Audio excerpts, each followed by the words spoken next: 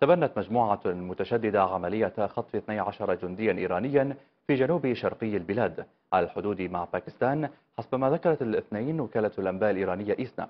وأشارت الوكالة الإيرانية إلى أن المجموعة التي تسمي نفسها جيش العدل نشرت صورتين تظهران على حد قولها سبعة من أفراد الحرس الثوري الإيراني الذين خطفوا في السادس عشر من تشرين الأول أكتوبر وخمسة أفراد من أمن أمن بزيهم العسكري مصطفين.